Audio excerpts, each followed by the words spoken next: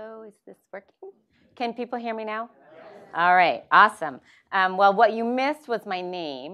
Um, I'm Maureen Conway, in case you don't know who I am. Um, and I'm just really thrilled to welcome you to today's um, book talk with Steven Greenhouse. Um, uh, it's a great time to be having this conversation. Um, I just want to say at the Economic Opportunities Program, we believe that all individuals should have the opportunity to work with dignity, to start businesses, and to build the lives and livelihood of their choosing. Um, we recognize that race, gender, and place intersect with and intensify the challenge of economic opportunity and economic inequality that we're struggling with in the country right now. Um, and we strive to bring that understanding to the work that we do in communities across the country to expand opportunity for all. Um, and today we're talking about the past, present, and future of American labor. Uh, today is a good time to be talking about that with uh, workers now on strike at GM, with California legislature uh, AB5 and addressing the status of gig economy workers. Um, so there's a lot of labor issues sort of in the news and really present for us. Um, but it's also a really important topic right now because right now we find ourselves in a time when, despite record low unemployment, there are still far too many people who are, um, who are struggling. Wages haven't grown very much, uh, and, and there's just uh, too, much, too much month and not enough paycheck for far too many working families. Um, we find ourselves at a time when the millennial generation is, is struggling, despite being the best educated generation that we have have had in this country. They uh, have lower earnings and less wealth than previous generations did at their age. Uh, we find ourselves at a time when many people are sort of just questioning the premise of the American dream that if you if you work hard, if you get a decent education, if you play by the rules, you'll be able to at least build a decent life. Uh, people are questioning whether that's still true, whether their their kids will in fact be able to do better than they can, and there's a lot of research that's uh, showing there's reason to have these serious questions about that. Um, there's people who are questioning whether they can ever even afford to have children. So we have a, a, lot of questions about work that are, that are really important, and people are really wondering kind of what's gone wrong. Uh, there's a lot of discussion of automation, of artificial intelligence, of globalization, and how those forces have been reshaping work, and those are important conversations. Uh, but there's been less discussion of how organizations of working people themselves have shaped work, what the history of that has been, uh, why labor organizations fell into decline in the United States, and, and sort of what's going on now with organizations of working people and how they might again play a role in shaping work.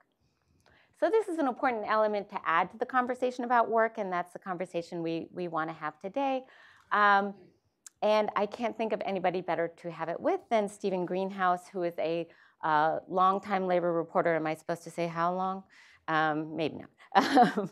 but has been following labor issues for, for a long time, um, researched even uh, earlier than his, his own working life in his new book, um, and really has, has, uh, has a really insightful book um, on sort of this history of labor, um, the present, and, and what might be um, happening in the future. Uh, so it's really terrific to have Steven here today. And before I welcome him to the podium, I'll just say a couple of things. Um, so one, I do want to remind everybody that we're uh, live streaming and recording the event, so please do silence your phones. Um, but please do tweet. Our hashtag is TalkGoodJobs. Um, and uh, I also want to, to thank our longtime supporters for the Working in America series, the Ford Foundation, the Walmart Foundation, and Prudential Financial, who've really been important uh, in bringing the wide array, wide array of conversations in the Working in America series that we've been able to, to have um, to share with you all. So um, I'm very grateful to them for their, for their support. Um, and what we're going to do today is, uh, so I'm going to invite Steven to the podium. He's going to, to give a talk for about 15 or 20 minutes. Uh, then we'll sit in the lovely red chairs and I'll ask him a few questions for a little bit and then we'll engage all of you in the, in the conversation.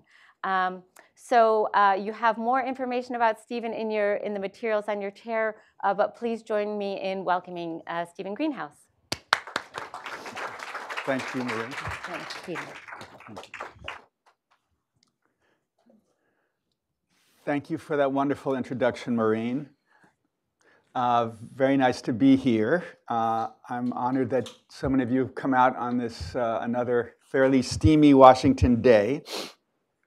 I, I, first want to thank the Aspen Institute for, for inviting me today, and especially to Maureen Conway and for the Institute staff for hosting me.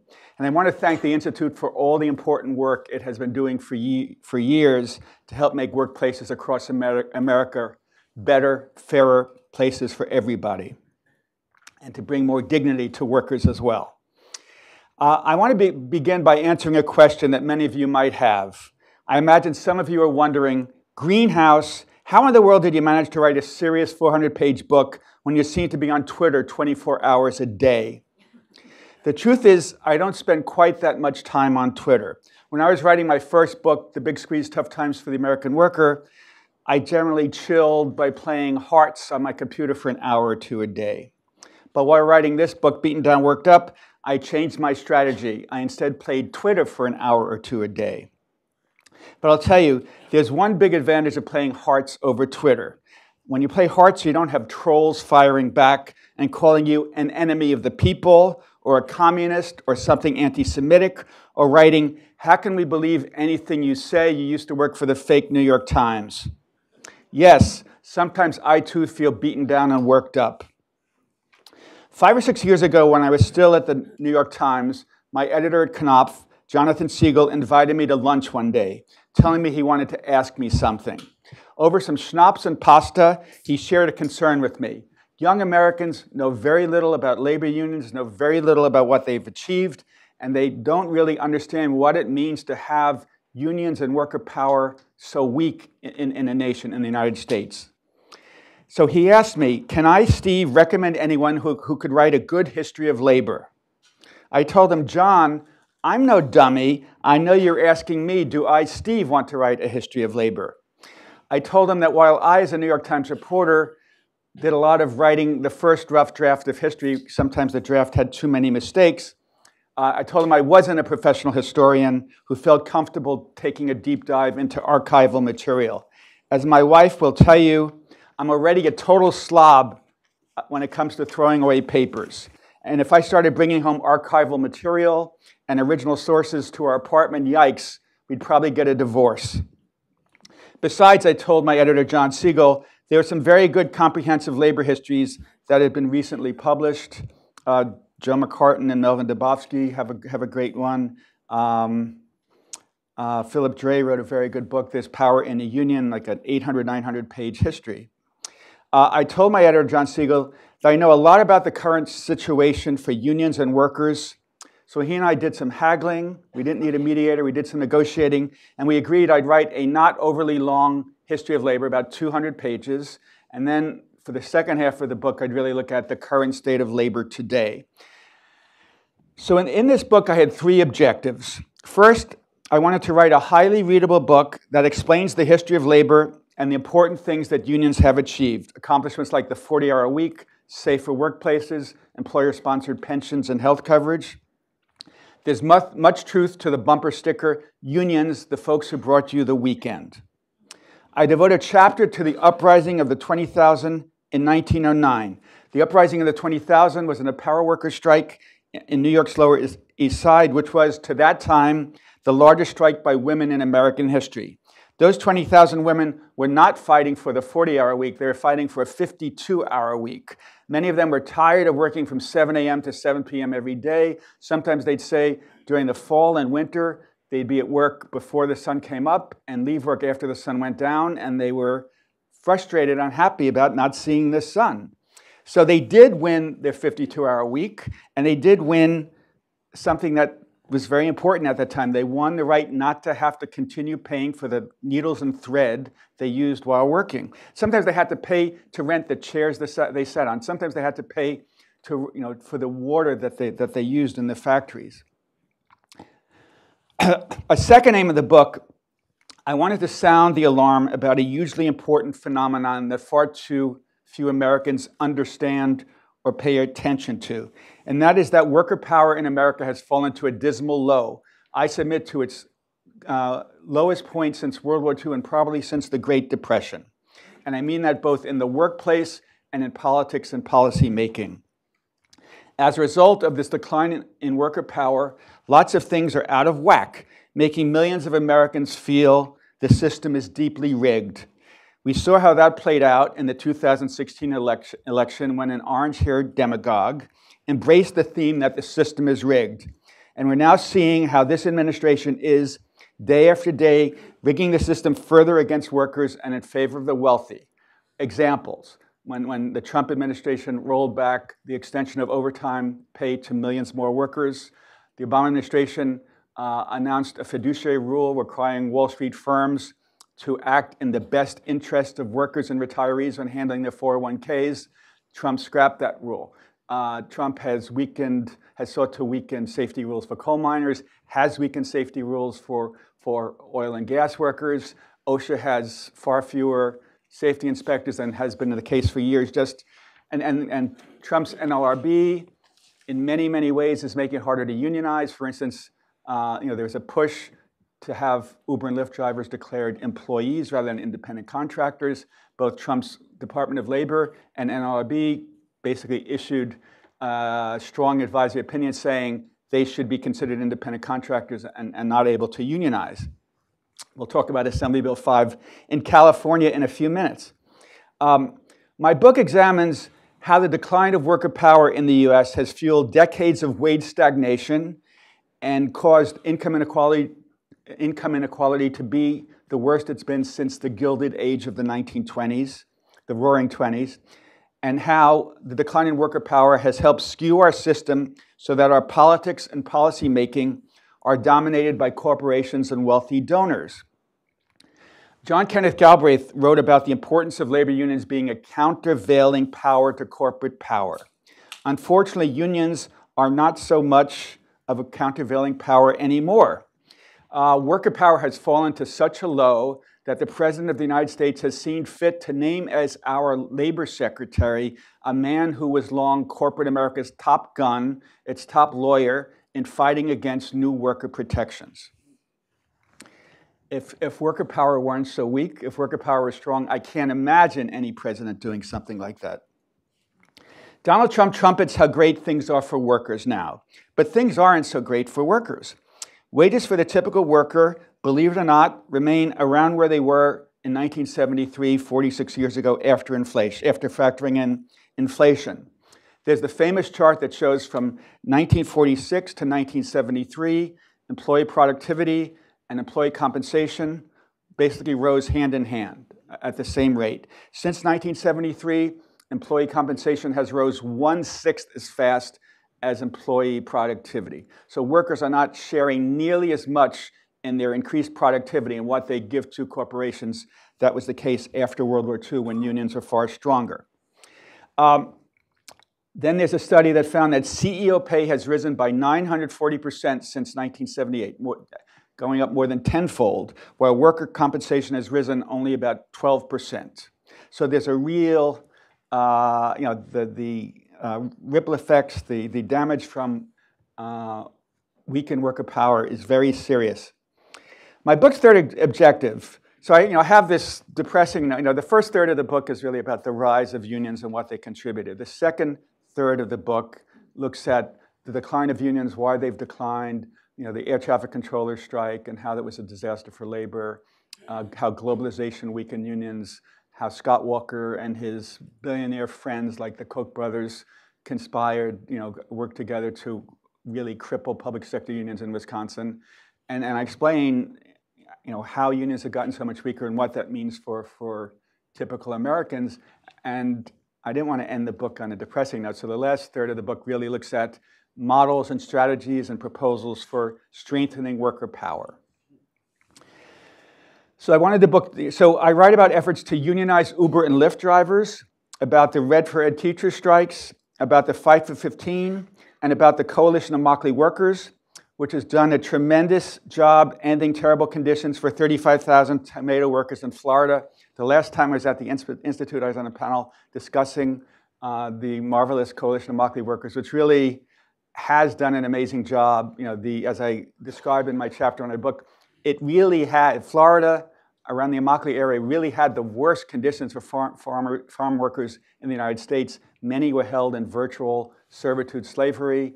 Uh, thanks to the Coalition of Immokalee Workers bringing uh, farm workers together, figuring out strategies to pressure um, to, you know, companies that ordered lots of tomatoes like Taco Bell and McDonald's. They in turn pressured, got the tomato growers to agree to raise wages and vastly improve standards.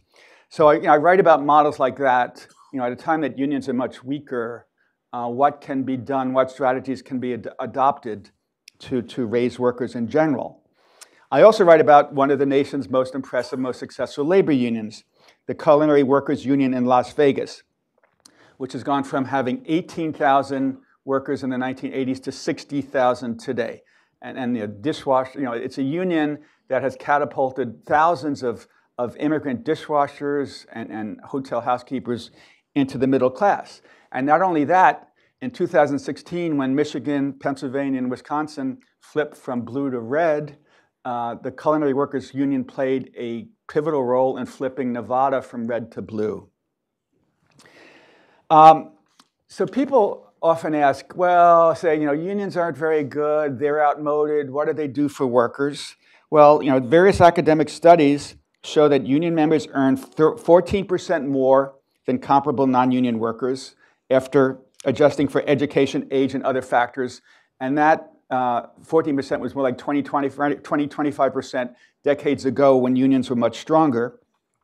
75% of unionized workers participate in employer-sponsored health plans compared to 49%, 76% to 49% for non-union workers.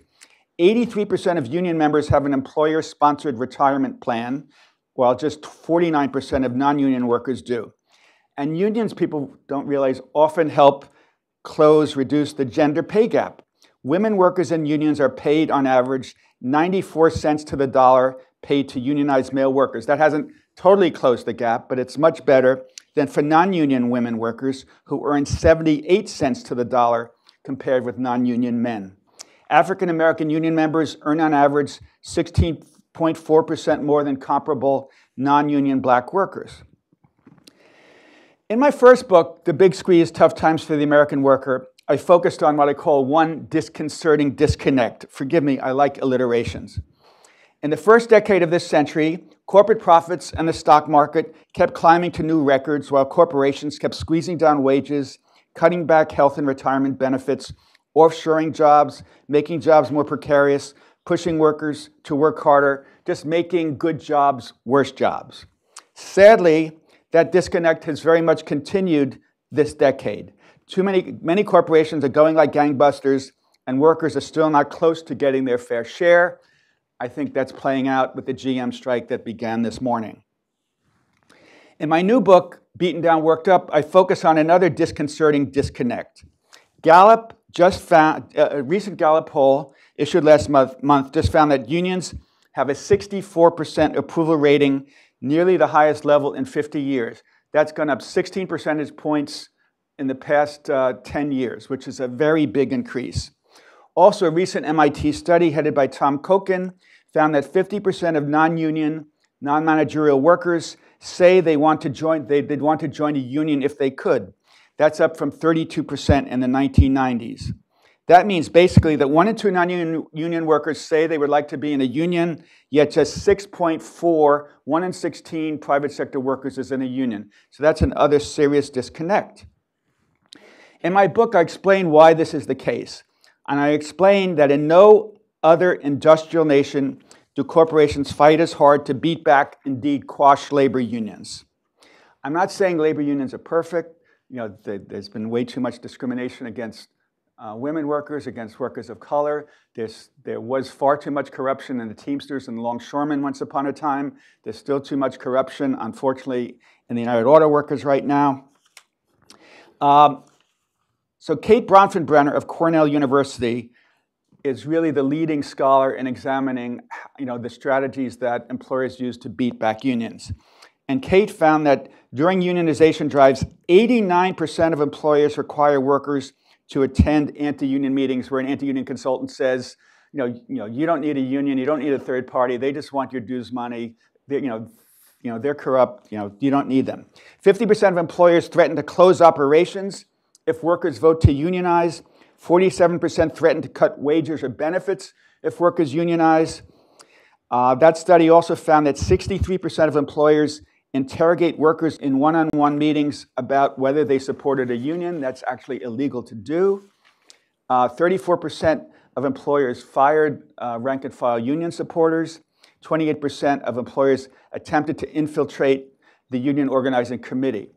In her studies about what employers do to beat back unions, Kate Bronfenbrenner gave some really juicy examples. For example, when a Fruit of the Loom factory in the Rio Grande Valley in Texas confronted an organizing effort, it posted yard signs in the community saying, Keep jobs in the valley, vote no. Fruit of the Loom hung a banner across the factory saying, Wear the union label, unemployed. In the last chapter of my book, I discuss proposals on how to rebuild worker power. Uh, Demo- the Democratic candidates are talking about strengthening unions more than ever before. I've been writing about labor for around 25 years now. I was labor and workplace reporter for 19 years at the Times, and since I took the bio from the Times in 2014, I've continued to write a lot. And never before have I seen Democratic candidates talk nearly as much about the importance of strengthening unions. And I think part of that is they realize that you know Hillary Clinton lost because she didn't do enough to woo workers and unions. Part of that, I believe, is they realize that uh, if the Democrats are going to win again, the surest path is to uh, win back Pennsylvania, Wisconsin, and Michigan. And they know that to do that, it will really help to strengthen unions. You know, Wisconsin, thanks to in Wisconsin, thanks to Scott Walker's efforts uh, to weaken unions, union membership has fallen by 43%, by 177,000 in the past decade. Trump won Wisconsin by 22,000 votes. And Michigan, largely because of the auto, the auto industry crisis, but also because uh, of a right to work law and some other anti union actions, union membership has fallen 144,000 in the past decade. Donald Trump won Michi- Michigan by 11,000 votes. Um, so while the playing field uh, is tilted in favor of unions during unionization drives, I, I, with, with the playing field tilted so much in favor of employers, I call for giving union organizers a lot more access to the employer's property commu- to communicate with workers. You know, employers have 24 access to workers during unionization drives. They, they you know, show anti-union videos in the lunchroom, in the break room. They have these uh, meetings where anti-union consultants uh, talk to workers. I, I went to uh, University of Pennsylvania Med- Medical Center to write about a, a, unionization drive there, and on everyone's commuter, computer uh, was a uh, was an anti-union uh, screensaver. Um, so I, I call, so under the National Labor Relations Act, passed under uh, Franklin Roosevelt in 1935 to give American workers a right to unionize. Uh, that was a signal law, but under it, employers cannot face one penny in fines for firing workers illegally for trying to unionize. So a lot of the candidates are saying we need stiff penalties uh, when unions fight illegally against unionization drives. There are a lot of good ideas out there how, about how to rebuild unions, but I have several concerns. I believe if some of these steps were enacted, private sector union density still won't increase much, maybe from 6.4% to 10% over several years. Or, you know, Bernie Sanders talks about wanting to double union membership in, in four years. So that, that would be forward progress from 6.4% in the private sector to 12.8%. But worker power would still be fairly weak. That's why Mary Kay Henry, president of the SEIU, said in a major speech last month that we need to go beyond these proposals for labor law reform and go directly to industry wide or sectoral bargaining. In a story I did for the New York Times, I wrote about an example of sectoral bargaining in Denmark, where this industry wide bargaining for fast food workers McDonald's workers average over $20 an hour, and that was at a time a few years ago when McDonald's workers in the US averaged about $8 an hour.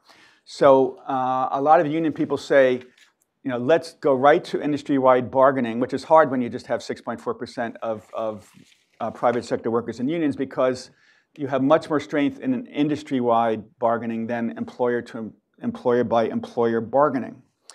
The second big problem I, I argue in my book to, to serious labor reform that would strengthen unions and strengthen worker power is that to, you know, to enact any of these measures workers face a huge roadblock, which is America's hugely broken campaign finance system. In the 2016 election cycle, business outspent labor 16 to 1. Corporations donated $3.4 billion, while unions donated $213 million. Uh, according to the Center for Responsive Politics, a, a nonpartisan group, every year corporations spend around $3 billion in law, on lobbying in Washington, while unions spend about 48 million, 160th as much. So there's little wonder that many lawmakers seem vastly more interested in giving $1 trillion in tax cuts to corporations when corporate profits and the stock market were already at record levels, and why, corporate, why lawmakers in Congress are doing so little to raise the minimum wage, even though the minimum wage hasn't been raised in over a decade, the longest it hasn't been raised since 1938 when the federal minimum wage was first established. I think everyone who hopes to lift America's workers, I think that every American who cares about building a fairer economy and fairer nation needs to focus far more on fixing our broken campaign finance system. I think something's really wrong when Sheldon Adelson or the Koch brothers have like a million times as much voice in politics as the typical school teacher or, or, uh, or uh, steelworker or, or, or janitor. I like to end on this point.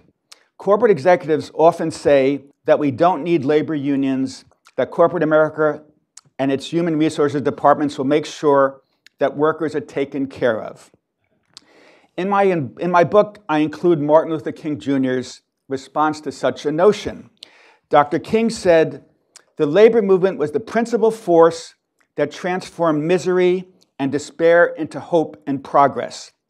Out of its bold struggles, economic and social reform gave birth to unemployment insurance, old age pensions, government relief for the destitute, and above all, new wage levels that meant not mere survival, but a tolerable life.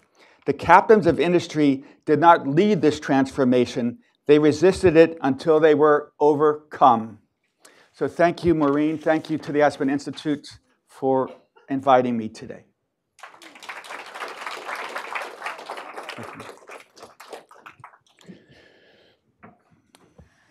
Well, that was terrific. Thank you, Thank you. so much. Um, and I think uh, I'm, I'm going to start with, uh, I, I feel bound at this point to, to say um, the Aspen Institute is a nonpartisan organization. Um, and, uh, you know, and, but as we were talking before, I think this issue of, of partisanship as it intersects with work has become just really too much, honestly. I, I, I talk with Republicans who um, are concerned about the quality of jobs. I talk with Republicans who say, I'm not against um, uh, worker, uh, you know, collective bargaining and worker organizing. I talk with Republicans who admire Samuel Gompers and, um, you know, and, and others from labor and, you know, but um, but it's be- become so so bound up in sort of partisanship and stuff. And I'm and I'm just wondering if you have any thoughts about you, you know, and most most people actually care about good jobs and and people being able to make a living, right? So, so do you have any thoughts about sort of how Sure, this can sure. become less of a partisan divide? So I started covering labor for the New York Times in 1995. And back then, there were about 20 seriously pro-labor Republicans in Congress, led by, I think, Jack Quinn in Buffalo. And Jack was a great guy, and like he wanted to make unions stronger, he wanted to raise the minimum wage. But now it's really unclear whether there are any pro-labor Republicans in Congress. And you know, I, you know, the parties move further to the right. Maybe they've weeded out people who were seen as pro-labor. And yes, you know, a lot of Republicans say we're all for unions, but you know, when they're pushed to vote, it's often you know for a right to work or to take away prevailing wage. Um, and uh, you know, so you know, one of the big points I make in my book that's been picked up is that the United States suffers from this horrid anti-worker exceptionalism. We're the only industrial nation that doesn't ha- have laws guaranteeing paid parental leave, paid maternity leave. We're the only industrial nation that doesn't have laws guaranteeing paid vacation, paid or, uh, paid or unpaid even. In the European Union, the 28 nations, workers are guaranteed at least four weeks. Uh, where the, we in South Korea are the only two industrial nations that don't have laws guaranteeing paid sick days. And you tell this to people in Europe, and like, you're the United States, you're the richest nation on earth. How could you not have these very basic things to make family work balance easier. And, you know, Democrats want to pass laws that, you know, give work, guarantee workers paid sick days, paid, you know, uh, paid parental leave. And generally Republicans don't. So like, what's going on here? Um, and I think a lot of Republicans, unfortunately, have become hugely beholden to corporate donors and corporate lobbyists. And, and mm-hmm. that's why I say we have to fix um, campaign know, the finance. campaign finance. Yeah. And yeah, so, so Ivanka Trump has come out with this proposal to have you know, paid parental leave. Mm-hmm. And the way, well, it kills me that you know, Trump and the Republicans gave away $1 trillion to corporations when they already had record profits without asking anything whatsoever in return. And Donald Trump says he's a great deal maker and a big friend of workers. Like, why not tell corporations, well, we're going to give you this $1 trillion, dollars, but we're going to demand paid parental leave in return? He, he asks for nothing.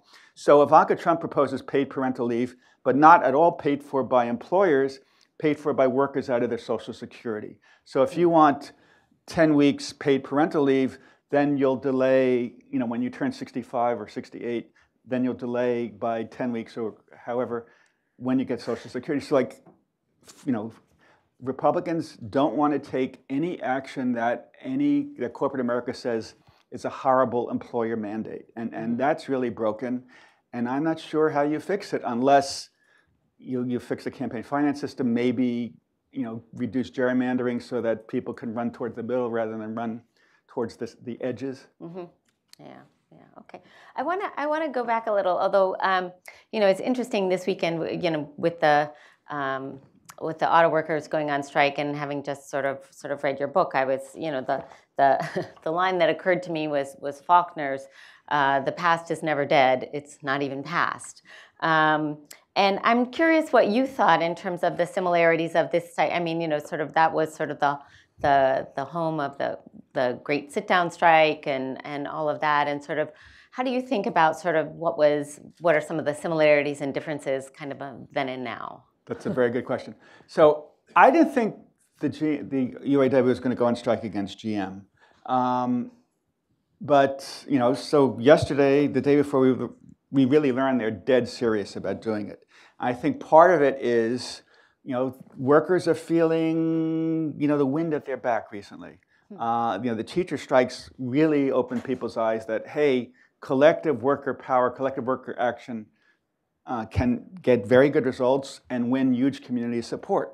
There was this, the strike earlier this year by 30,000 stop and shop workers where, you know, Elizabeth Warren, uh, Beto O'Rourke, Pete Buttigieg, you know, a lot of the candidates went up there to pick it, pick it with them and they saw, you know, you know the UAW and other labor people saw that you know we get lots of public support, we get lots of political support, and I think that influenced the GM workers. And I think you know they're very fed up that GM. You know, it's amazing. You know, it's, GM has fewer workers in the U.S. now than Ford and Fiat Chrysler, which is like because GM was always the largest American right. corporation. That really opens one eyes. So I think you know a lot of the auto workers are like fed up that GM has moved so many jobs to Mexico mm. and China and elsewhere and it closed the Lordstown, the huge Lordstown plant, which is making the Chevy Cruze, while GM continues to make the Chevy Cruze in Mexico. So that's one level of answer. Yeah. Another is, so you know, when there's a strike at GM, that historically is a big deal, and I and I devote two chapters in my book to two famous famous uh, landmark strikes at GM. One is the Flint sit-down strike of 1936-37, which many people say was the most important strike of the 20th century, where GM, then the nation's, the world's largest company, for years, you know, crushed the unions. You know, it, it helped get police on horseback to literally beat strikers. It had, you know, hundred, you know, had many, many spies to uh, infiltrate union efforts. Mm-hmm. And you know, 2,000 workers in the dead of winter in Flint, Michigan, went on strike for two months, and managed to get the world's most powerful company to sit down and agree to unionize. And that really began the huge wave of unionization in the late 1930s and during World War II. And then, you know, the great Walter Reuther, in my mind, the greatest labor leader of the 20th century. I have a chapter about him. And you know, there was a huge GM strike right after World War II. Workers were fed up about um, wage freezes during World War II, and this huge strike by 175,000 workers 49,000 workers now. Back then it was 175,000. They went on strike for uh, nearly four months, 112 days. And, and GM was so upset by the strike that in the, in the next round of negotiations, it negotiated a landmark deal called the Treaty of Detroit that gave workers, in effect, a 20% raise after inflation over five years and gave workers the best health coverage and pensions of any unionized workers in the nation. That, again, more than anything else, really went far to create the middle class. Hundreds of other employers copied that. So, so this, so this, you know, the UAW, GM is much smaller comparatively. The UAW is much smaller comparatively. But again, I think people pay special attention when there's a UAW strike against GM. And my sense is the UAW is kind of calling the question on continued outsourcing of jobs, kind of influenced by Donald Trump, like it's time to stop that. And, and the UAW also is quick to say, when GM went bankrupt in 2009, we gave all sorts of concessions for it to get back on its feet. And now, when GM has profits of $8.1 billion, it's, it's not rewarding us enough. Yeah, yeah. I think it's interesting that also, you know, I, I wonder about this one though. So the other the other one I was thinking about when I was looking at the the UAW strike, I wonder about whether they really do have the same level of sympathy as sort of the teacher strikes, right? Right, so the teachers, question. if you look at teachers, you think like Everyone loves I- teachers. Everybody, everybody loves teachers. I am dismayed that my kids' teachers have to have a second job, right? I think about how that actually influences their ability as teachers, as well as sort of, you know, sort of. Um, so, and and I'm curious, you know, so there's a couple of things that I that I think about with that. One, I'm I'm curious if you think that that that sort of idea from the teacher strike that people started to to hear that a little bit, like if you want your teachers to do a good job, they need to have a good job, kind of thing. If you think that that's that's ingrained in. Um, uh, but but also, I'm wondering if if it's just more that um, work like teaching and healthcare and things are the the work that we have. We don't have as much industrial workers, so I'm wondering if that also limits people's ability at this point to sort of relate to UAW strikes. Not as many people know people who work in work in manufacturing. I, I don't know if you So, so several answers. Um, like 15 years ago, there was a strike by rubber workers against, I think, Bridgestone. Maybe 5,000 workers that went on for like six months. And I couldn't get my editors at the New York Times interested. They said, you know, it's a private sector strike. Why does it? Why should our Why should our readers care? Yeah. So you know, I pick up the New York Times today. Lead mm-hmm. story is strike by. So you know, 50,000 a lot more than, than, than 5,000. GM is a lot more important than Bridgestone. But, you know, I think labor issues have come to the fore with all the talk about income inequality and wage stagnation and work and the system being rigged. So I think that's one thing. But, but you're right, a lot of people don't feel they know industrial workers the way everyone knows mm-hmm. knows and loves teachers.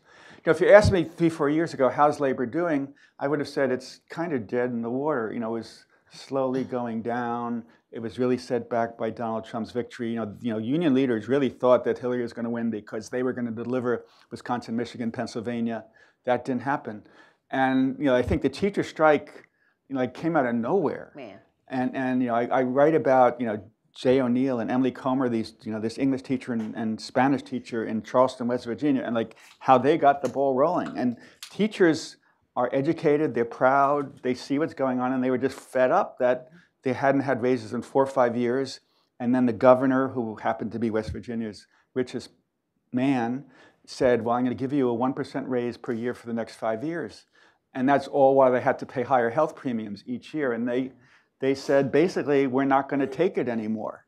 And, and they said they were inspired by West Virginia's you know, glorious history of, of coal miner strike. And they were also amazed at the extent of community support they got. So I really think the teacher strike has really inspired other strikes. Uh, I think you know, successful strikes beget other strikes. Yeah, and I was wondering because uh, sort of you know there's also the unsuccessful strikes and and in particular the air traffic controllers which you write about. And I'd never really read this history of the air traffic controller strike. And one of the things that was interesting to me was was the things you identified that they kind of did wrong. Um, and you know, so I was thinking about that when I was also looking at the the UAW strike, especially given the corruption cases that they have and everything. Do they have people's sympathy and do they have you know, sort of enough people kind of with them in this. And um, but anyway, but maybe you could talk a little bit about sort of kind of what went wrong with the air traffic controllers over some of the mistakes that they that they made and and why that was so damaging. So I, I, write about you know the rise of labor, you know Walter Reuther, the Treaty of Detroit, this amazing contract in 1950 that really was a milestone stone in building the middle class. And I write about the Memphis sanitation workers strike, which was a milestone in the civil rights movement, the labor rights movement, at great, great, great cost. Uh, Martin Luther King was assassinated when he was in Memphis, you know, helping the workers. Then I write about the decline of labor and I start with the discussion of the air traffic controller strike in 1981. And you know, some of you were not around back then. So 13,000 air traffic controllers went on an illegal strike. They were demanding uh, raises like three, four times other federal workers, all while wanting their work week to go from five days a week to four days a week. And they were kind of arrogant. They thought, you know, we're vastly underpaid. We should be paid every bit as much as airline pilots. Um, and they went on this illegal strike against a new conservative president, Ronald Reagan. They didn't line up support from other unions. They had very little public backing. And you know, if you're going to go on a strike, even a legal strike, it's important to have public backing. So they went on an illegal strike without conferring with other unions, without lining up public backing. So they were confident they were going to shut down the nation's airports and, and, and force Ronald Reagan to, to cry uncle, to come begging and say, we want you back, we'll give you whatever you want. But uh, Reagan shocked them. You know, a few hours after the strike started, here in the Rose Garden, uh, Reagan announced that, you know, those of you, you know, this is illegal strike. Every air traffic controller vowed on, on his or her first day of work to, you know, not, not, to, not to walk out, not to strike. He, and Reagan said, if you don't come back within 48 hours, you're fired and people thought he was bluffing, but 48 hours later, they sent out notice to 11,300 air traffic controllers. 1,700 of the 13,000 that walked out did return to work. And the, um, the federal government got the airports running again far better than the controllers ever, ever thought the government could. And the strike was totally crushed. You know, there wasn't much support from other unions. It was hard for them to do much. There was, you know, and the public was hugely against these strikers mm-hmm. because they came across not only just as illegal, but kind of asking for, you know, like a little bit spoiled. You know, at, you know when, when President Kennedy gave federal workers the right to unionize and bargain collectively, he did not give them the right to bargain over wages. And still in 1981, when the strike took place, the federal government was still in theory prohibited from bargaining over wages. And uh, the Reagan administration did kind of sub rosa secretly agree to bargain over wages and gave them awarded them twice as much as other federal workers, but the air traffic controllers said that's still not nearly enough. So they, you know, they didn't have their ear to the ground. The union was run by extreme militants without much experience in union affairs, and they really ran into a buzz, saw. Yeah.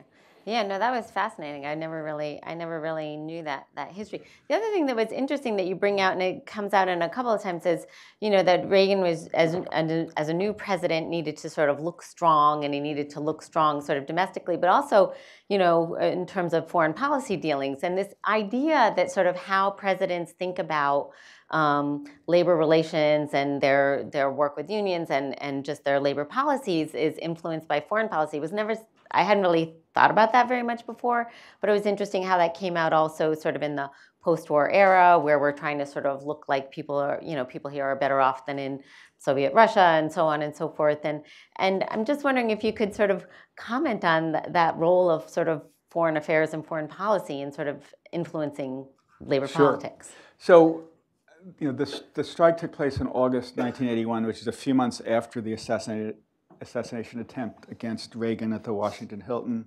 He, you know, people really, a lot of people saw him as a hero. So he was very popular then, and the Union is taking on this very popular president. And you know, Reagan's aides, you know, on one hand they said it's important for this new president who's only been in, in office for a few months to show his strength, to show he's, he can't be cowed, to show he's not going to back down. So I think, you know, to show the Soviet Union this, to show other leaders yeah. this. And I think it was important to them for, to have Reagan hang tough. also, Maureen, you know, a lot of Reagan aides were very conservative and not, you know, and really disliked unions. I don't think Reagan disliked unions so much. People forget he was president of the Screen Actors Guild. He led, as president of that guild, he led them out on, on their very first strike. But there were some Reagan aides who like wanted to zap unions, and they were more than happy to take down the air traffic controllers. And, and they, they helped push him. You know, there was a big push after he fired them, like six months later, a year later. Well, you know, grant them amnesty, let's rehire them. And these folks said, no, no, no, no, we have to show that we're hanging tough. Mm-hmm. Yeah, yeah.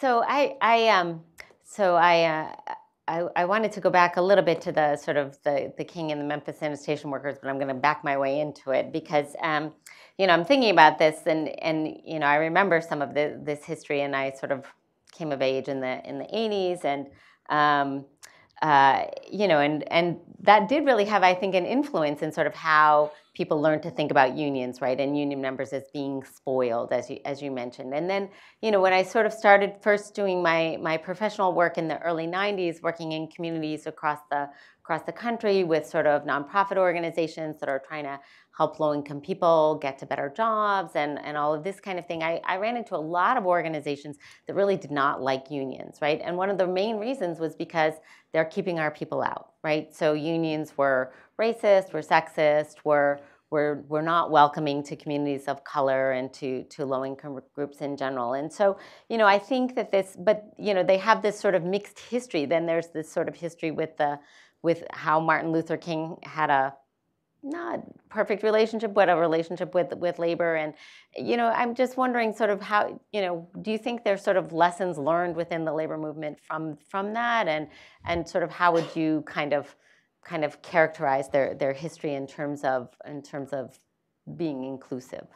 So, you know, it's no secret that you know, labor movement was not usually inclusive early in its history. And you know, one of the things I learned while you know doing research for this book was that you know the great Samuel Gompers could be you know said some really racist things, especially against immigrants from China. And I also learned that he was one of the main forces in the enactment of the Chinese Exclusion Act of 1981. And and you know and and you know, the AF, you know, a lot of unions in the AFL-CIO, especially construction unions and railroad unions, you know, were just totally segregated. And another great labor leader, A. Philip Randolph, who headed the uh, Brotherhood of Sleeping Car Porters, kept pushing the AFL-CIO to like, you know, expel segregated unions. And he was urging George Meany, who was head of the AFL-CIO in the 1950s and 60s, like, you got to get tough, you got to get tough, you got to expel these guys. And, and, and at one point, Meany lectured, you know, lectured uh, A. Philip Randolph saying, who are you to speak for the nation's Negroes? Like, and, you know, A. Philip Randolph was, you know, he tried putting together a March on Washington in the 1940s to pressure Franklin Delano Roosevelt to agree to integrate the defense industries. And he persuaded Roosevelt to do that. This is 22 years before the 1963 March on Washington. And, and it was A. Philip Randolph, not Martin Luther King, who was the main organizer of the March on Washington. And, and uh, Randolph, it was A. Philip Randolph who really got Harry Truman to agree to integrate the armed forces generally. And um, so you know, I think unions really learn their lesson. And, and, and so you know, Martin Luther King Jr. was a huge supporter of labor, but sometimes he'd go speak to the AFL-CIO. And on one hand, he'd say, you're too segregated, and I'm pissed off at you, Mr. Meany, for how you've treated A. Philip Randolph. On the other hand, he said, you know, labor, you know, unions can't get anywhere without us, you know, African Americans, and we blacks can't get anywhere without unions. So he realized mm. the importance of unions, and you know, in in, in uh, you know, 1967, 1968, he launched this pair, this poor people's movement. He said the Civil Rights Act were good in winning political rights for for blacks, but didn't do nearly enough to lift blacks economically. So he launched this Poor People's Campaign, and he was really, you know, working very hard to set that up. And then the Memphis sanitation workers went on strike. And I, you know, I profile a sanitation worker whom I interviewed at length, Elmore Nickelberry, who's now in his 80s, and he talked about, you know, um, you know, he, you know, he, he, you know, he was a captain. He served in South Korea during the Korean War. He was a captain in the army. He comes back to Memphis in 1953, and everyone's still calling him boy. And I quote him saying, I was treated with more dignity, with more respect in South Korea than I was in, in, in, Memphis. And he got a sanitation job, and his bosses always called him boy. And if they came in five minutes late, they might be sent home for the day. And they would, you know, go into people's backyards and pick up these tubs of garbage that they'd often put on their head or, or, their, or their backs, and the tubs would have holes in them, and the garbage juice would, you know, seep down the bodies, and they go back to the garages at the end of the day. And there are no showers. You know, they're Memphis. You know, working in 90, 95 degrees. It was crazy. So they went on strike.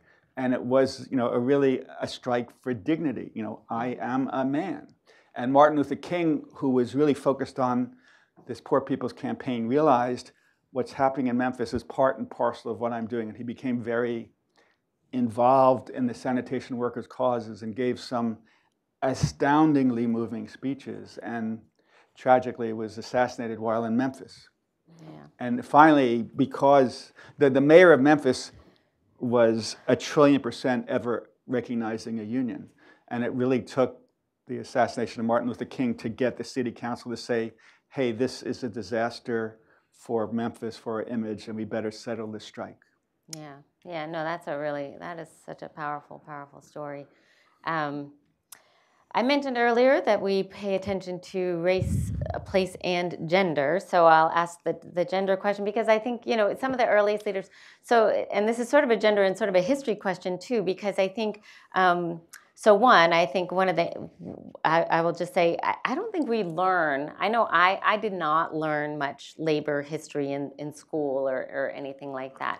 Um, I didn't I didn't really learn who Frances Perkins was until I started going to the Frances Perkins building at the Department of Labor, right? So, um, so I, you know, I was I was pleased to see. Um, uh, the Von Drehle book around around the uh, about the Triangle Shirtwaist Fire um, assigned to my daughter in high school uh, this great. year, so that was awesome. Um, that's a uh, wonderful book, David Von Drehle's book on the Triangle Fire. So, um, uh, but one of the, you know, one of the real leaders, like, you know, you learned about sort of all of these women garment workers and how sort of courageous they were, how active they were, how much sort of a lot of that early labor movement, women were so so crucial to people like Clara Lemlich. And um, so I'm just wondering if you can talk about sort of the role of women a little bit in in labor history and kind of um, whether what's happened with with that. Sure. Yeah. Thank you. So in this book, I devote a lot of pages to the role of women in labor history, and and you know.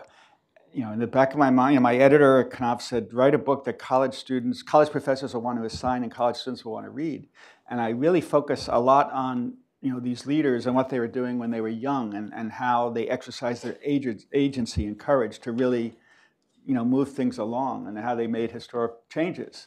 And I write about this, you know, Jewish immigrant from the Ukraine, Clara Lemlich, you know, who arrived in New York um, at the age of 16, only speaking Yiddish. She wanted to be a doctor. Good luck with that. She, you know, two weeks later, she was working in the sweatshop, and she became a uh, soapbox speaker on behalf of workers' rights and women's rights. And she was this dynamic force at age 23 that led this you know, huge strike, the uprising of 20,000 by more than 20,000 female garment workers. And as a strike, you know, 90, 95% women, and they faced down the bosses and they won. And I write about, you know, the great Frances Perkins, who to my mind is probably the most underrated person in American history. You know, she was, you know, so she, uh, so, um, no argument How to begin? uh, you know, she went to Mount Holyoke. Her parents, you know, wanted her to be a teacher. She taught at this fancy girls' school north of Chicago, Ferry Hall. On weekends, she spent you know, with Jane Addams and Hull House in Chicago. She got really swept up with helping the poor and helping workers, and she said, that's what I want to dedicate. To her parents' chagrin, she said, that's what I want to dedicate my life to. Her next job was in Philadelphia, helping you know, working women, which often meant uh, immigrant women from Europe and African American women who were tricked who were told they were going to get a good job, but they were tricked into prostitution. And then she, you know, went to New York and became head of the New York office of the, of the National Consumers League, which originally was an anti-slavery group that sought to boycott uh, goods, you know, cotton goods and sugar goods made, you know, made with slave labor. And you know, she was having tea with a friend on Washington Square when the Triangle Fire broke out, and she ran over and actually witnessed the workers jumping out of windows to their death. and she was named uh, by uh, you know to head this investigative commission to to really figure out how to ensure that there are no no no other fires like this ever before. From that, she becomes labor commissioner for then New York Governor Al Smith. Then she becomes labor commissioner for his successor, someone named Franklin Delano Roosevelt. So she's his right hand during the when he's governor when during the depression, and she leads these innovative, the country leading efforts for for uh, you know uh, you know. Uh, you know, aid for you know laid off workers, and and and and you know she's pushing for unemployment insurance, and Roosevelt's elected president, and he offers her position of labor secretary, which would make her the first female cabinet member in the nation. So you know, little little Frances Perkins goes into Roosevelt's house on East 65th Street in Manhattan, and Roosevelt says, you know, I'd like you to be labor secretary, and she says, I'll agree only if you accept these conditions that you push for Social Security, that you push for universal health coverage. I think you, people have heard about that issue. That you push for a 40 hour work week, that you push for a minimum wage, that you push for restrictions on child labor. And, and, and, and, and, and laws on unemployment insurance. So everything she demanded, except universal health coverage, was enacted into law. And, and, and you know, she was you know, the behind the scenes hero in, in, in making this happen. And, and I quote Collier's magazine saying, it shouldn't be called Roosevelt's New Deal. It should be called Frances Perkins' New Deal. I mean, she was, she was amazing. Yeah, yeah, she really was.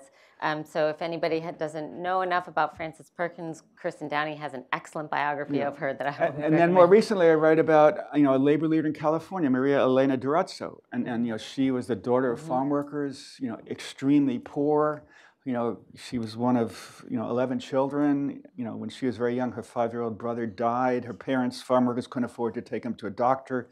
The priest had to do a collection to pay for the burial. Uh, you know, she, you know, got very involved in labor. She founded this group, the Los Angeles Alliance for a New Economy, that has done wonders building alliances between unions and the community and environmentalists. And, and she became head of the Los Angeles Federation of Labor. Now she's in the state senate in, in uh, in California. She was just elected, and it's foreseen that in four years she'll be Senate Majority Leader. So, like, these are amazing stories about what. You yeah. know, so I'm going to come to you all for questions in, in just a second. I'm going to ask you one last question, and I'm glad you brought up uh, brought up LAANE um, because I was really I really think that they're just a fascinating organization as we think about sort of who's kind of responding to people's felt needs in communities now, who's thinking about connecting.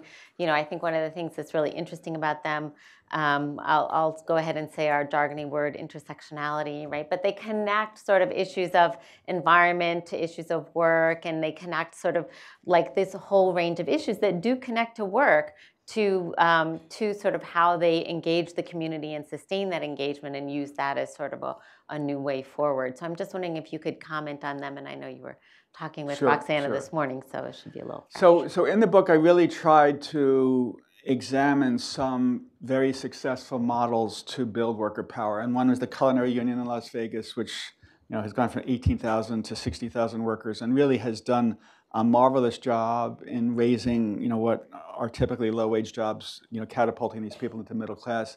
I look at the Coalition of Immokalee Workers, which has done a great job lifting farm workers.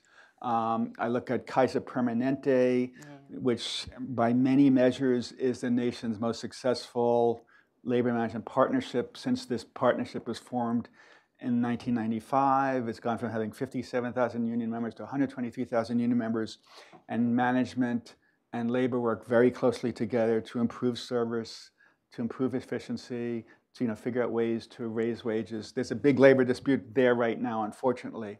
And I also devoted a chapter to this terrific group, Los Angeles Alliance for a New Economy, which Maria Elena Durazo, who was head of the Hotel Workers Union in Las Vegas at the time, and her husband, Miguel Contreras, who was head of the Los Angeles Federation of Labor and was like a genius at organi- organizing and political organizing. When people ask, how did the state of Ronald Reagan and Pete Wilson flip from red to blue? You know, the untold story is that Miguel Contreras mobilized, you know, a lot of the two million immigrants, uh, you know, Hispanic immigrants, Latino immigrants who moved to Las Vegas, made them a political force that flipped politics in Los Angeles and Los Angeles County, and that went very far to flipping Sacramento. So, so um, Miguel Contreras and Maria Elena Durazo realized that unions, you know, California was a very anti-union state, so they realized that unions are not strong enough, so that if we want to achieve some of our goals, we really need to find partners to leverage our power. So they built very effective coalitions with African American groups, Asian American groups, Hispanic groups, um, immigrant groups, and you know they have you know made huge gains. They you know enacted this um, kind of uh, leapfrogging the 15, you know, the five to 15. They enacted a, they got the city council to enact, a $15.37 wage for uh, hotel workers a lot of Los Angeles government agencies were very segregated. A lot of construction projects in Los Angeles were very segregated.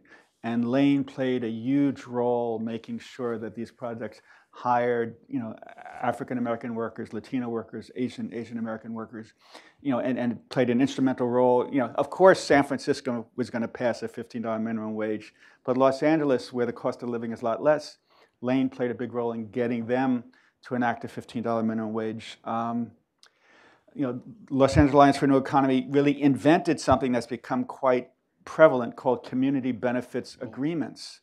Um, there was a huge project in Hollywood, and that project included the Dolby Theater where the uh, Academy Awards are presented each year. And Los Angeles Alliance for a New Economy and the city councilwoman from there, Jackie Goldberg, basically told the developer, you know, if you want to build this huge project, you have to agree to certain worker-friendly things. You have to hire a certain number of like low-income people from surrounding zip codes. You have to agree not to fight a union. You have to agree to pay a living wage. And, and you know, the developer said, we don't want to do that. And, and then LAANE got his friends in the city council to say, unless you agree to this community benefits agreement, we'll deny you, we'll get the city council to deny you permits, we'll get the city council to deny you the 90 million in subsidies you're expecting. And they set up this whole idea of community benefits agreements that yeah. is now done in dozens and dozens of other cities. Yeah, it's really spread. Um, I want to invite people to join the conversation. Excellent. I have lots of questions. So, um, Bert, Ray. Okay, I'll take. I'll take. I'll take. Go one, two, three, and then uh, you can respond. And um, we have a microphone. So, why don't you just? Thank you. Um, you haven't mentioned anything about the government agency that's supposed to uh, facilitate uh, elections and things for uh, unions, the NLRB, and I'm wondering you could talk about their role and why it seems to function less well than it used to. Didn't I say in my opening remarks I, a little I thing about take, the NLRB? I want to take okay. three and then okay, okay. just so we can let more people get, get questions in. Yeah. I wanted to hear uh, what you thought of what was going on with Volkswagen in Tennessee, where uh, flipping the script from the usual uh, elected officials running interference on behalf of corporations, the parent corporation actually said, we'd be happy if there was a union in our plant in Tennessee because we'd know who we were talking to, and we have good labor relations in all our other factories in other places in the world. And the legislature actually threatened the corporation that if they came in too heavy on the side of organization, they would withdraw the state subsidy for the continued production of the plant. And I thought it was just one of the weirdest things I had ever seen. I'm sure you have some insights into it. Yeah. And then right here. Yes, uh, you've spoken about the beneficial aspects of unions. Did you also, in your book, speak about the corruption that's existed and what effect that had, especially in New York City? Within yes, don't forget New Jersey. New Jersey. yes, and what effects that has had on the general aspect of labor unions and their relationship to um, adding more union members. Okay. We got NLRB, Volkswagen, yes, Union right. So, so I'll, I'll, get to that. So I have a chapter called uh, Labor's Self-Inflicted Wounds, but I'll, I'll get to that. Uh, so on the NLRB, um, I've been thinking of writing a story about how the Trump NLRB, National Labor Relations Board, kind of is the umpire during unionization elections, and it can set rules that make it harder to unionize or easier to unionize. It's a five-member board, and the president generally appoints three members from his party and two from the other party. And so the Trump Labor Board has taken many steps to make it harder to unionize. It's, you know, it declared that, you know, Uber and Lyft drivers should be considered independent contractors without a right to unionize and not employees. It's going to take away the right of graduate students to unionize. It's made it harder for like McDonald's franchisees to be declared joint employee employers, which will make it harder to unionize. It's looking at a rule to bar workers from being able to use their corporate email to discuss unionization issues. I mean, it's it's moving very aggressively to uh, make it harder to unionize. Then, Mr. Ray, good to see you. Uh, very good question. So, um, what happened in Tennessee is just bizarre. So, Volkswagen, uh, you know, German company has co-determination. You know, workers have nearly worker representatives have nearly 50% of the members on the company's supervisory board, and in Germany, it's considered a very pro-worker company. And here in Chattanooga, in the first unionization drive in 2014, Volkswagen really remained very neutral and said, we're not going to oppose unionization. And that drove Tennessee lawmakers bat, whatever, you know, crazy. and they said, you know, this is going to hurt our reputation, our, our you know, all-important business image if this important company unionizes. So they, you know, pull out all the stops to defeat the union effort. And they basically told Volkswagen that the second tranche, the second promise of subsidies, like 100, 200, 300 million dollars to build a second line, you know, they, they would cancel that. And that made the workers very, very scared that if we only have one production line and never get the subsidies for the second production line, our factory might not survive. So that really, really scared people, and, and I think in, you know, encouraged a lot of people to vote against the union. Plus, you had people like Grover Norquist, you know, Mr. Anti-Taxes, he launched a big campaign against the union there because he was worried that if the UAW got a foothold in Tennessee, they'd push for all sorts of terrible things like better schools and better unemployment insurance for workers, and that would mean higher taxes and, and, and maybe more Democrats would be elected, and they didn't want that. So even while Volkswagen remained neutral, there were a lot of forces pushing the workers to vote against the union. In the second round, uh, this year, last year, where the union, the UAW again lost, Volkswagen wasn't as neutral. They became somewhat more anti-union. And you know, the, the UAW, I think, shouldn't have you know, held the election before it had enough support. I think it should have pushed harder to make sure it had like 70% of the workers for it before the company, the, the company and, and the Republicans launched an all-out effort not the company, but the Republicans and others, an all-out effort to defeat the unionization effort. So corruption.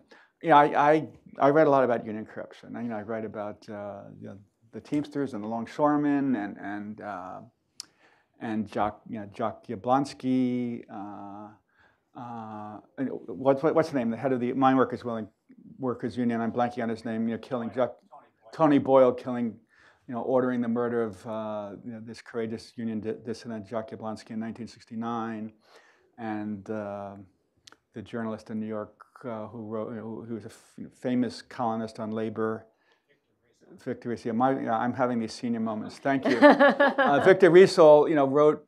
You know, he he was a syndicate columnist. He wrote just about labor. He's more than 200 newspapers. He wrote a column about corruption in the Operating Engineers Union. And four days later, someone came up to him as he was leaving Lindy's restaurant, 47th Street. I can't remember his name, but I remember the name of the restaurant.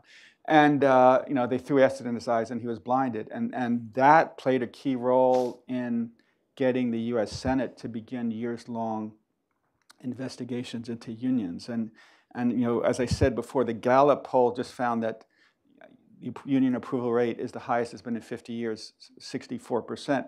The highest it's ever, ever been was in 1957, where it was 75%. And then after all this corruption, after the Victor Riesel uh, horrible incident, you know, that was the absolute peak in union approval, and it's gone down since there. And, you know, there was, you know, Jimmy Hoffa and the, uh, and the Central States Pension Fund and, and, you know, workers' pension funds being used to finance uh, lots of corruption and, and mafia things. So, you know, I often get into arguments with people. They say union corruption is, much, is so, so bad. And I say union corruption is no worse than corruption in government, especially nowadays. And I know I'm sounding partisan, especially now. No, I, I think, and, you know, and no worse than, than business corruption. I mean, look at Purdue Pharma. Look at all the corporations that back climate denial. I mean, that to me is corruption too. But I, you know, I think there's much less union corruption than there was in the 50s and 60s. I think the federal government has gotten too little credit. They've done a very good job cleaning up a lot of unions. There's still pockets of corruption, unfortunately, in the UAW right now, but there's much, much less than there used to be. And, and whenever there's corruption, it really hurts unions when they seek to unionize. So the corruption, you know, this scandal in the UAW right now really hurt the UAW during the unionization effort at Nissan in Mississippi. Okay. Uh, wow, I got lots of questions. Uh, one, two, three. We'll do three again on this side. Hi, uh, my name is Mike Golash. You haven't talked very much about the legal restrictions on the right to strike. There is Taft-Hartley outlawed the secondary boycott. Uh, basically, there's all sorts of federal laws, use of injunctions, and it seems this really limits uh, workers' power. And unless we address that issue and workers regain the right to strike, I see it being very difficult to build really strong unions.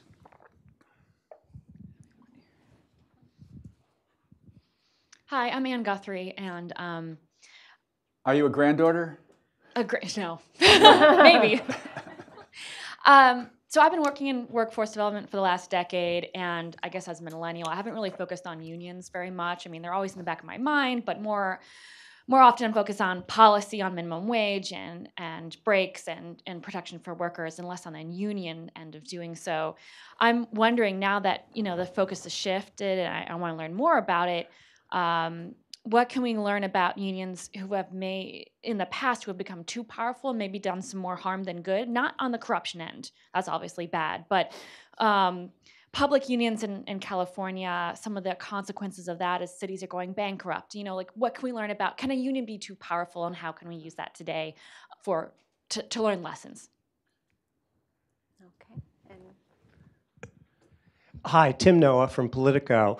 Um, I'd like to follow up on the partisan point because um, I, I don't think there's any question that certainly at the level of leadership, the Republicans are the anti-union party and the Democrats are the at least marginally pro-union party.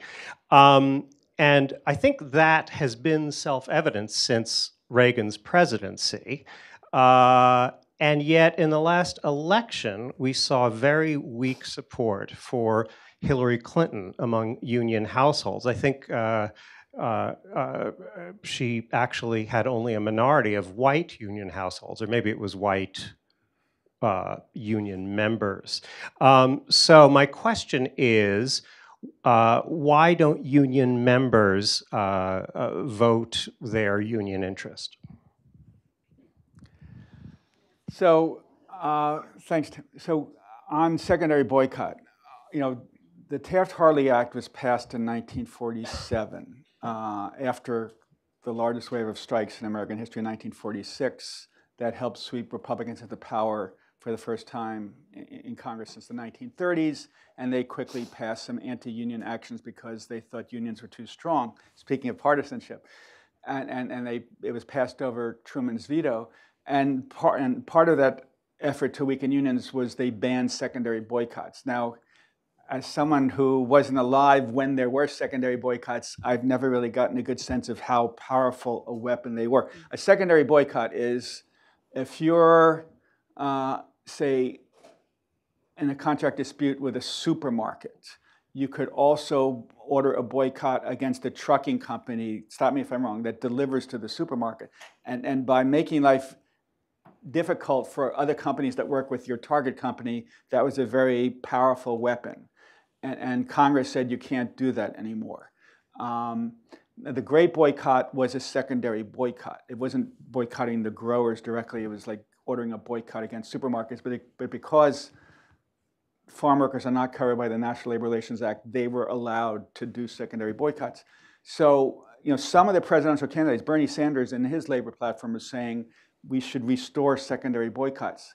I don't, I, it would certainly help unions, I'm not sure how much it would help. Might help a lot, I, I, because I, I, I never really studied how effective secondary boycotts were. But, i but I take issue when you say there's no right to strike. There is a right to strike, you know, but you know, we are the only industrial nation that allows strikers to be replaced by you know, permanent replacement workers, which really weakens the ability to strike.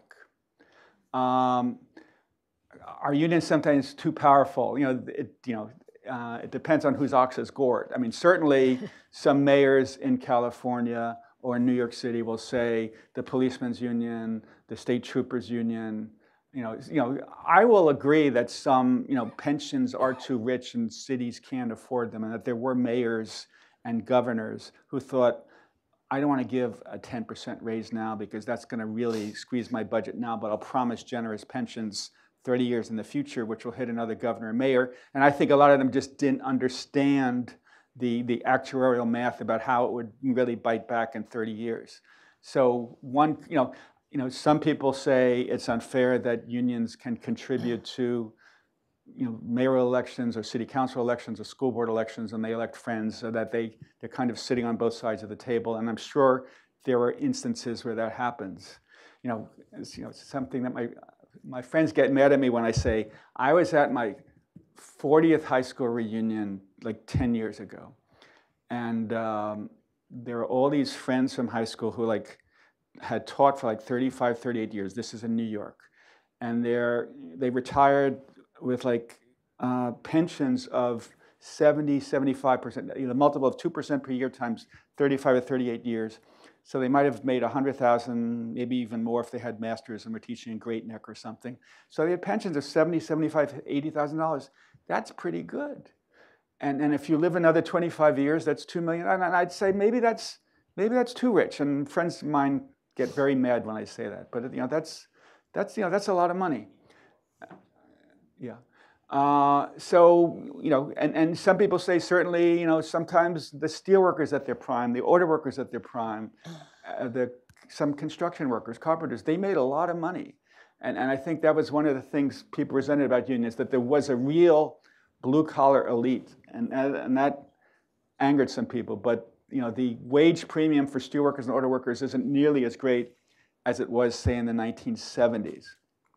Now, Tim, uh, good question you know, I, I got into huge arguments with my wonderful wife and wonderful daughter, saying I don't think Hillary Clinton is the best candidate for the Democrats. I, you know, I didn't think Bernie Sanders was going to win, you know, would have won either. But um, I thought, you know, Joan Williams, you know, professor at UC Hastings, wrote a wonderful article just a few days after the election saying Hillary's big problem is she's not seen as a candidate of workers; she's seen as a candidate of the professional class, of lawyers and Wall Street folks and Hollywood celebrities and, and high tech engineers and, and I think people felt that. And, and Trump, who, I'm sorry, I think, you know, I follow, you know, I'm from New York. I followed Donald Trump for 30 years. I thought he was very dishonest 30 years ago. I thought he was a huge narcissist 30 years ago. I thought he was a huge comment 30 years ago. He hasn't changed.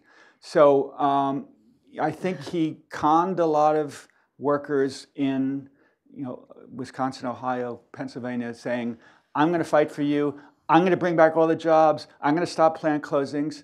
And I think a lot of them bought that. A lot of them really didn't buy it. They thought this guy, you know, is sort of full of it, but at least he, unlike Hillary, said, you know, shows that he cares about our issues. And, and you, know, and maybe you could assign one of your people to do this. To, you know, I haven't seen anyone do the definitive piece about why and where the unions fell short in Wisconsin, Pennsylvania, and, and, and Michigan you know, the unions say, well, you know, we did our best in those states. I don't think they did. And no one has really, you know, gone deep into the weeds to explore that. One, one yeah. surprising thing yeah. we do know is that the, uh, the third party vote among union households was off the charts. So it right. really was an anti-Hillary. Yeah, and, and, and you know, in the primaries, a lot of union members voted for Bernie over Hillary. And, and a lot of them thought neither Hillary nor Trump were good for them, and they voted for Jill Stein, which, you know, that's something else that needs to be investigated, her ties to Putin, but we won't go there. uh, I mean, that's also very mysterious. Um, okay, I thought there were a couple of questions. So one, two, and then we'll close out. Hi, uh, I'm John Russo. Uh, and former director of the Center for Working Class Studies at Youngstown State, and now at the Kalmanovitz Initiative uh, at Georgetown. Uh, I want to ask Steve a question that we've been talking about for about five or six years, and that's about the term precariat. We, we've had I, I've come around on that. we, we started this discussion six years ago, and the, the idea was that the term was not understandable, so we kept using the term working class or some other sort of nomenclature. Since what's happening now, and in many ways what Maureen and Aspen is trying to deal with, is changes in the nature of work and precarity. And this large group of people, many of them younger people, but not necessarily millennials, that are part of this large group of, which I call the precariat, which you're now coming around to. But the question of it is, the laws really don't deal with this. The National Labor Relations Board is no help in this area because the whole nature of employment's changed. And I just wondered if you talked anything about that in the book itself.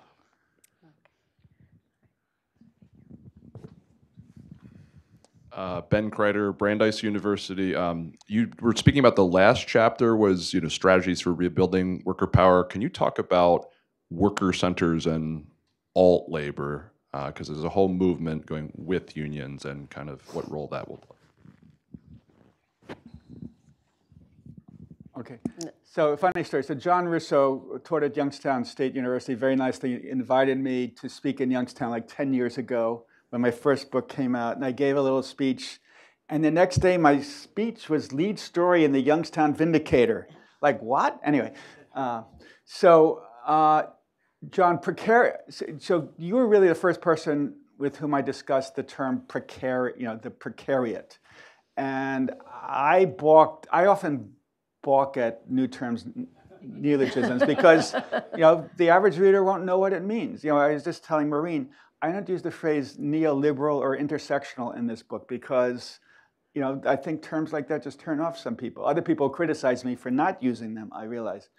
And you know, so precariat has become much more accepted, you know, compared with six years ago. I would call it not. I would. I would never use the term precarity. I'd call it precariousness because I think it's more accessible to people. But you know, the concept is better understood than it was five and ten years ago. I have a chapter in the gig economy. You know, I write at length about you know how unstable, uncertain, i.e., precarious jobs, volatile jobs have become. And you know, so we haven't discussed Assembly Bill 5 yet in California. And, and you know, so that bill, which basically you know, makes it much easier to declare gig workers, precarious workers, employees rather than independent contractors, I think in many ways is the single most important thing done in the United States to date to fight precariousness. It's saying, you know, you gig workers, you know, DoorDash, Uber drivers, you know, your employees, the employer will, you know, you're covered by minimum wage and overtime. You're covered, you know, your employer will contribute to your Social Security and, and, and Medicare. They could still fire you at will. That's a whole other thing. And that's very hard to change. And you know, Bernie Sanders in his labor platform has this radical proposal to move to a just cause standard for firing, for laying off people. But it's, it's hard to fix, you know, it, it's hard to fix. And, and you know, in Europe, you know, where there are employment contracts and they've moved to, you know, non, you know, hiring people without employment contracts, you know, that's become far more popular because employers feel much more willing to hire new workers when they don't feel constrained by employment contracts. Uh, we've seen a lot of that in France and Germany. Ben Kreider, thanks. Um, no, so I write about, you know, the Coalition of Immokalee Workers and the Los Angeles Alliance for a New Economy. Why did I write about them? And I devote full chapters to each of them. I was looking for the two most, what to my view were the two most successful worker centers in the, in the country. And I was going to write about the Workers' Defense Project in Austin, which is also great, but the book is already somewhat long and you can't do everything. So I thought the Coalition of Immokalee Workers is a great model because they've improved standards vastly for farm workers only through the private sector without, you know, without getting government to do anything for them. You know, they, they have Walmart and, and, and Trader Joe's and McDonald's as their enforcement mechanism. If a tomato grower uh, allows violations, then Walmart and Trader Joe's will stop dealing with them. So like, it's a really fascinating model to use some of the world's most powerful corporations as your labor enforcement mechanism. And then on the other hand, the Los Angeles Alliance for a New Economy has also done an amazing amount. It's really been an amazing ideas factory for not, not only developing pro-worker ideas, but seeing them through to fruition. And they, unlike the Coalition of Immokalee Workers, generally work you know, 98% by pushing public sector levers, and they've been phenomenally successful. And the Workers Defense Project in Austin, which has you know, done a very good job improving standards for construction workers in, t- in Texas, especially immigrant construction workers. And Texas had the highest fatality rate for construction workers in the nation. You know, they use both private sector, you know, levers, you know, pressuring Apple at its billion-dollar construction project to force its developers to do a better job, and using the city council as a way to pressure developers. But I don't have, I don't write about 50 different worker centers. I, I really, you know, wrote about some of the very best. Great. Well, thank you. I want to close um, actually by reading the very last line of your acknowledgments, um, where you write, Lastly, I shall forever be thankful to my late parents, Mortimer and Cyril Greenhouse, who repeatedly taught me, as Dr. King taught, that all labor that helps humanity has dignity and that every worker, no matter how low paid or how humble, deserves respect. So I want to thank your parents Thank you. and thank you, Steven Greenhouse, for sharing those lessons with us. Thank you. Thank you very much. Thank you. So I also want to say that uh, we have books for sale outside. Um, Steven is able to stay for a while to, to sign books. I encourage you to buy the book. It's really a great read. I also encourage you to come back on October 4th. We'll be talking about the making of a uh, what a making of a democratic economy with our friends from the Democracy Collaborative. So, uh, talking about ownership issues and all of those kinds of things. So, please join us for that. And thank you all so much for, for being here today. Thank you.